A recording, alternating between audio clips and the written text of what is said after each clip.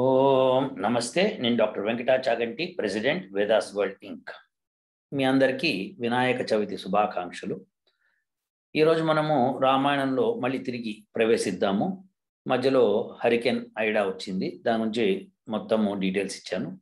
ఇప్పుడు రామాయణంలో సుగ్రీవుడు వర్ణనలో పశ్చిమ భాగంలో బంగారు గుర్రాలు ఉంటాయి. ఆ తర్వాత ఒక పర్వతం నుంచి ఇంకో పర్వతానికి సూర్యుడు వెళ్ళడానికి దాదాపు ఒకటిన్నర ముహూర్తం టైం పడుతుంది. అని అంటే మనము ఒక గంటన్నర సమయం అని చెప్పి ఆథర్ ఇస్తే మనం కాదు ఇట్లా అని చెప్పి మొత్తానికి అయితే రెండు క్యాలిక్యులేషన్స్ చేసి పెట్టాము. ఒక యోజనము పాయింట్ టూ ఫైవ్ కిలోమీటర్స్ అని చెప్పి డిసైడ్ చేశాము. Point two two point two five kilometres అని డిసైడ్ చేసాము అలా చేసిన తర్వాత దానికి క్యాలిక్యులేషన్స్ అన్ని చూసుకుంటూ వచ్చాము. సరిపోయింది అది. ఇప్పుడు అట్లనే ఉత్తర భాగంలో కొంత భాగము డిస్క్రైబ్ చేశాడు ఆయన. అది మళ్ళీ మాట్లాడదాం.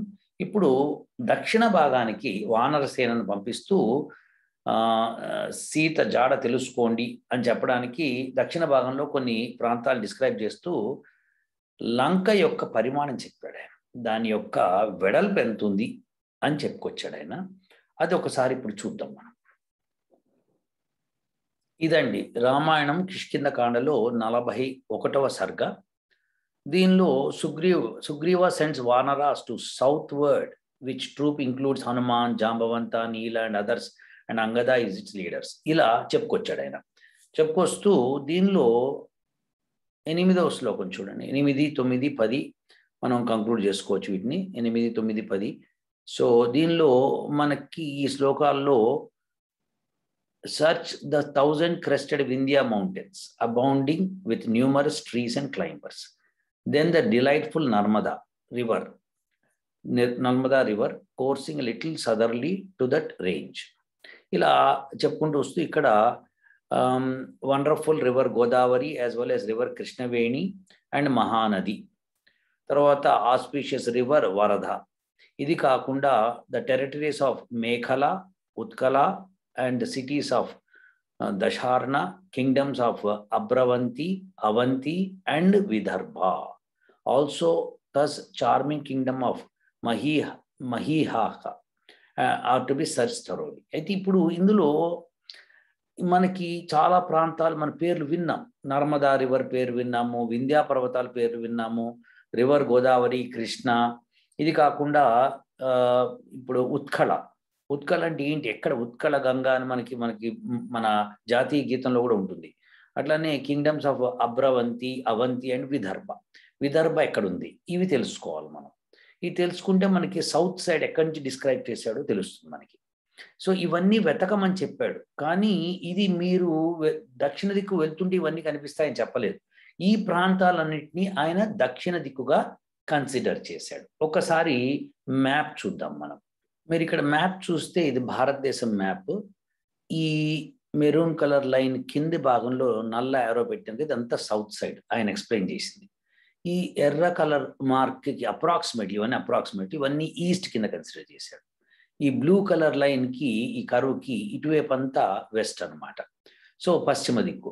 ఇక్కడి నుంచి పై అంతా నార్త్ దిక్కుగా ఇదంతా ఈ ప్రాంతాలన్నీ నార్త్. సో ఈస్ట్ దిక్కు డివైడ్ చేసినప్పుడు ఏం చేశాడంటే కొద్దిగా యువతలకు లాగి ఆయన ఇవన్నీ డిస్క్రైబ్ చేసుకుంటూ వచ్చాడు ఇవన్నీ. సో ఈ ఈ ప్రాంతాలన్నిటి మనం చూద్దాము. అవి తూర్పు దిక్కు ఇంకా మిగిలి ఉంది. అది బేసిక్ ప్రాబ్లం uh, ఏంటంటే ఈ వీడియో రికార్డింగే తూర్పు దిక్కు గురించి మాట్లాడడానికి తీశాను. సరే ఇప్పుడు మనకి దక్షిణ దిక్కు మాట్లాడుతూ విదర్భ అన్నాడు. ఈ ఇక్కడ మ్యాప్లో ఉన్నది విదర్భ అనమాట ఇది. ఇప్పటికీ విదర్భ ప్రాంతం అంటారు అదంతా. సో అలా విదర్భ. అక్కడ నర్మదా నది కూడా ఇక్కడ ఎక్కడ ఫ్లో అవుతుంది? ఇక్కడ వింధ్యా పర్వతాలు ఉన్నాయి. ఆ తర్వాత కింద వస్తే మన గోదావరి కృష్ణా రివర్స్ మీకు తెలిసినవే. ఇవన్నీ ఉంటాయన్నమాట. ఈ డిస్క్రిప్షన్ ఇస్తున్నాడు అనమాట సో ఇస్తూ ఇదంతా సదరన్ రీజియన్ కింద ఆయన డివైడ్ చేసుకున్నాడు. ఇదంతా ఈస్టర్న్ రీజన్ కింద ఇదంతా వెస్టర్న్ రీజన్ కింద. ఇక్కడ ఒరిస్సా ఇప్పుడు ఉత్కళ ఉత్కళ అంటారు అనమాట ఇప్పుడు ప్రస్తుతం ఉన్న ఒరిస్సాని ఉత్కళ అంటారు అనమాట నర్మదా నది మీకు తెలిసిందే.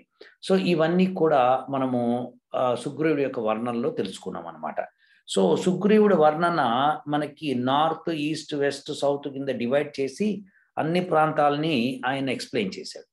ఇప్పుడు మనము మళ్ళీ రామాయణం డిస్క్రిప్షన్ వాల్మీకి రామాయణ డిస్క్రిప్షన్కి వెళ్దాం. ఇక్కడ పదకొండు పన్నెండులో ఆయన చక్కగా వంగ కళింగ తర్వాత కౌశిక్ టెరిటరీస్ తర్వాత ఆంధ్ర పుంద్ర చోళ పాండ్య కేరళ ఇవన్నీ డిస్క్రైబ్ చేసుకొచ్చాడు. సో అప్పటికి ఆ రాజ్యాల పేర్లు అలా ఉన్నాయన్నమాట. దండకా ఫారెస్ట్ దండకా ఫారెస్ట్ ఎక్కడైతే రివర్ గోదావరి ఫ్లో అవుతుందంటూ చెప్పుకుంటూ వచ్చాడు అనమాట సో ఈ ఏరియాస్ అన్నిటిని సెర్చ్ చేయాలని చెప్పాడు.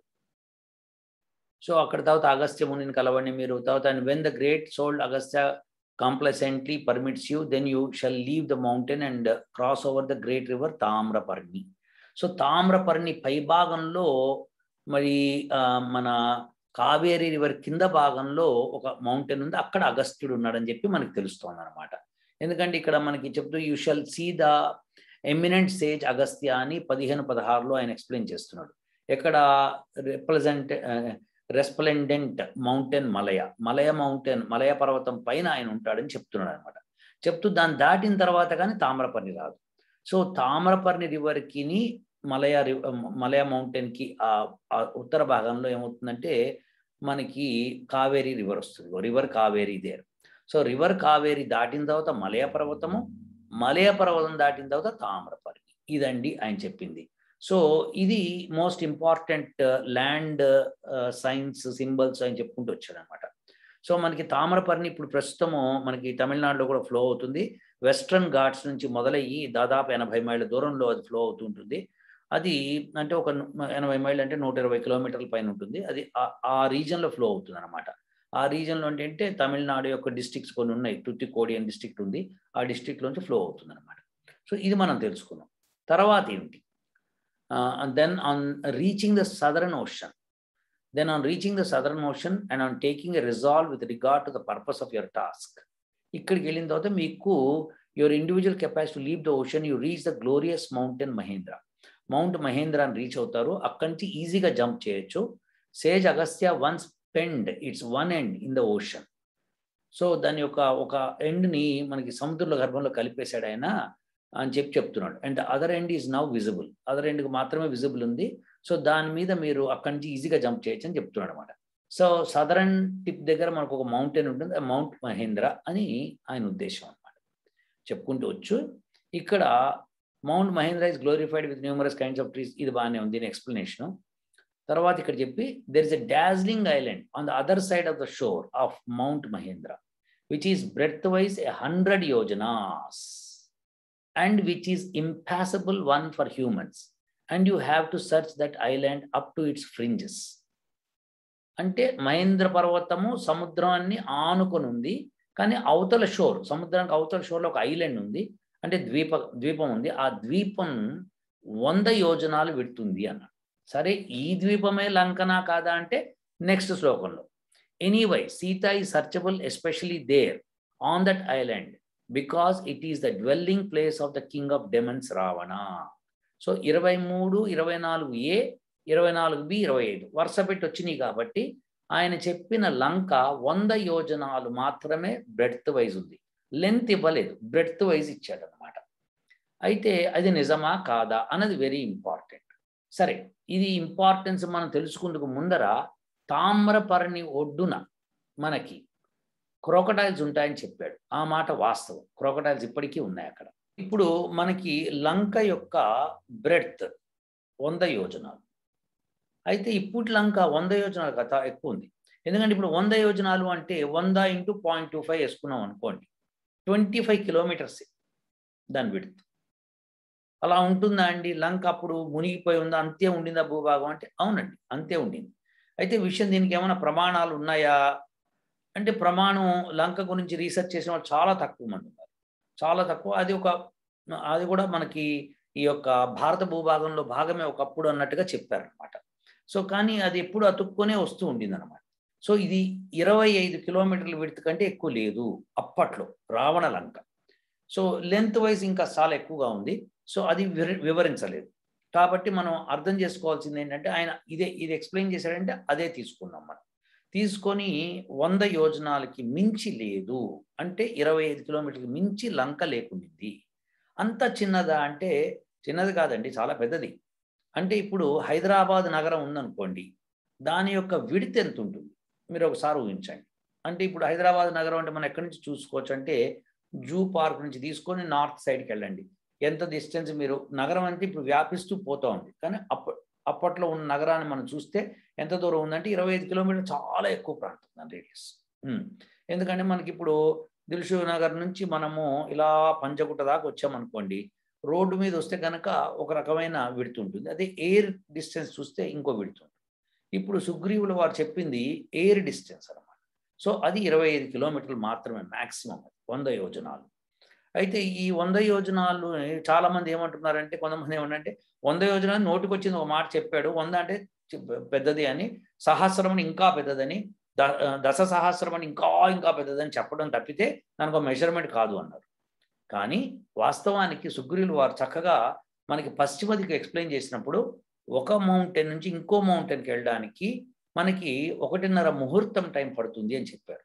అలా చెప్పడం మరి సమయం కూడా కేటాయించి పదివేల యోజనాలు దాటడానికి అంత సమయం పట్టింది ఆయన చెప్పినప్పుడు సమయము డిస్టెన్స్ ఈ రెండు కూడా ఆయన అక్కడ మెన్షన్ చేసినప్పుడు ఖచ్చితంగా ఆ distance point two to point two five kilometres. ఇది మనం అర్థం చేసుకోవాలి. ఇది ఒక యోజనము. సో ఒక యోజనము పాయింట్ టూ ఫైవ్ కిలోమీటర్స్ కాబట్టి మొత్తం లంక అప్పట్లో ఇరవై ఐదు కిలోమీటర్లు. ఇది ఎలా సాధ్యం అంటే లంక పైకి వస్తూ ఉందా? భూభాగం పైకి వస్తూ ఉందంటే అవునండి. రీసెంట్గా జపాన్లో కూడా ఒక ఐలాండ్లో జపాన్ పక్కన సముద్రంలో ఒక ఐలాండ్ పైకి వస్తూ ఉంది. చూడండి మనకి ప్రత్యక్ష సాక్ష్యం అనమాట అది. సో ఆ ఐలాండ్ పైకి వస్తూ ఉంది. అది రాను రాను రాను పెద్దదే అవుతుంది. ఎందుకంటే ఒక పర్వతాలు సముద్రంలో మునిగి ఉన్నవి పైకి వస్తున్నప్పుడు ఒక ఐలాండ్ లాగా ఏర్పడతాయి. నేను మీకు కొన్ని బొమ్మలు నేను హవాయి వెళ్ళినప్పుడు నేను చూపిస్తాను కొన్ని బొమ్మల్ని వాటిని. నేను ఈస్ట్ సైడ్ ఎక్స్ప్లెయిన్ చేసినప్పుడు చెప్తాను. అది ఒక గొప్ప రహస్యం. నేను ఎందుకు హవాయి వెళ్ళానది ఒక పెద్ద రహస్యం. ఆ రహస్యాన్ని గురించి మీకు చెప్తాను. సో ఇప్పుడు అక్కడ ఉన్నాయి ఐలాండ్స్. ఇప్పటికీ కొన్ని ఐలాండ్స్ అలా ఉన్నాయి అన్నమాట. సో అప్పట్లో లంక అలా ఉండింది. సో లంక యొక్క వైశాల్యం అప్పట్లో ఇరవై ఐదు కిలోమీటర్ల విడ్త్ అంటే ఒక ఒక సైడ్. ఇంకో సైడ్ ఎంత ఉంది అనేది ఆయన చెప్పలేదు కాబట్టి మనం చెప్పుకోకూడదు. సో ఇదండి పరిస్థితి. సో లంక కరెక్ట్గా సముద్రం ఆనుకొని ఉంది అని ఖచ్చితంగా చెప్తున్నాం. పోనీ మీరు ఎవరన్నా కనుక లేదు లంక ఎక్కడో సముద్రం ఉంది అనేటి కనుక ఆనుకొని ఉన్నది లంక అని చెప్పడం అవసరం లేదు కదా మరి సుగ్రీవులు వారు. లేదంటే అప్పట్లో వేరేది ఆనుకుని ఉంది. మరి ఈ లంక ఎప్పటి నుంచో ఆనుకొని ఉంది. మీరు ఫిఫ్టీ బిలియన్ ఇయర్స్ దగ్గర ఫిఫ్టీ మిలియన్ ఇయర్స్ వెళ్తే కూడా అక్కడ ఆనుకునే ఉంది. మనము లంక్ మనము రామాయణం జరిగింది కాలాన్ని ఎప్పుడని చెప్పుకుంటున్నాము టూ మిలియన్ ఇయర్స్ దాటింది. టూ మిలియన్స్ నుంచి మనం చెప్పుకోవాల్సి వస్తుంది అనమాట అబౌట్ టూ మిలియన్ ఇయర్స్ ఎందుకంటే అప్పటి నుంచి మనం ఒక ఒక అంచనా వేసాం హిమాలయాలు ఎప్ప అది వచ్చి కలిసింది హిమాలయాన్ని ఎప్పటి నుంచి అని మనం లెక్కేసుకుంటే మనకి ఒక లెక్క తేల్చాం మనం. సో అట్లనే యమునా నది ఎప్పుడు ఏర్పడింది ఎప్పుడు వచ్చి గంగలో కలిసింది దానికి ముందర రామాయణం జరిగింది కాబట్టి అది ఎప్పటి నుంచి జరిగిందని మనం ఒక లెక్క వేశాం. సో ఆ లెక్కలన్నీ చూసుకున్నా కానీ లంక అప్పటి నుంచి కనెక్ట్ అయ్యే ఉంది. కాబట్టి ఆ భూభాగాన్ని మనము లంక అనాల్సి వస్తుంది. శ్రీలంక రావణ లంక. సో రావణ లంక యొక్క విడుత్ ఇరవై ఐదు కిలోమీటర్లు మాత్రమే. మనకి ఈ రోజున ఇరవై ఐదు కిలోమీటర్లు కారులో వెళ్ళిపోతున్నాం బస్సులో వెళ్ళిపోతున్నాం చాలా ఈజీగా వెళ్ళిపోతున్నాం. సో మీకు హైదరాబాద్ మనం సెంటర్ నుంచి ఉస్మానియా యూనివర్సిటీ నుంచి కీసర మీరు లెక్కేశారు అనుకోండి ఇరవై ఐదు కిలోమీటర్లు. ఇది రోడ్డు మీద వెళ్తే. కానీ గాల్లో వెళ్తే ఇంకా తక్కువ. సో మీరు గాల్లో వెళ్ళే డిస్టెన్స్ని ఇరవై ఐదు కిలోమీటర్లు లెక్క పెట్టాలన్నమాట. ఆ డిస్టెన్స్ లంక యొక్క విడ్త్ ఆ రోజుల్లో. ఆ లంక పైభాగం ఇలా ఇలా వస్తాం సముద్రం నుంచి. అందుకని దానికి విడత పెరుగుతూ వచ్చింది. అది ఏదో ఒక్క రోజులో జరిగే పరిణామం కాదు. వందల వేల సంవత్సరాలకి కొన్ని కొన్ని ఇంచులు బయటకు వస్తూ ఉంటాయి అన్నమాట సో ఆ లెక్కన ఈ రోజున ఒక భూభాగం బయటకు వచ్చింది. ఈ లెక్క కూడా తీసి మనకి రామాయణం ఎప్పుడు జరిగిందో మనం చెప్పుకుందాం. వచ్చే ఎపిసోడ్స్లో ఉంటానండి. ఓ